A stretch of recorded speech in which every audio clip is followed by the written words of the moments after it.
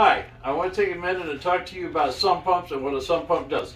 A sump pump's a basic device that sucks groundwater from underneath your foundation and takes the pressure off your foundation walls and pumps it outdoors. Whatever you do, do not pump your sump pump into your main sewer line or your septic line going to your septic tank.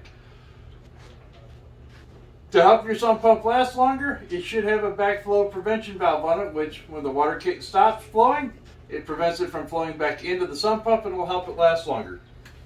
Simple thing you can do on your sump pump is put a high water back, high water alarm system on it.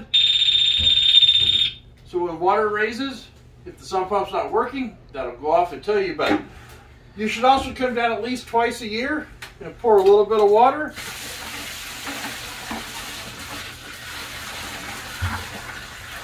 in your sump pump like that. Once it kicks on, pumps the water out, you know everything is working properly. Another great feature to have on your sump pump is a backup sump pump system. That way, if the first one goes out, there's always a backup system to help keep your basement flooding. Have a wonderful day.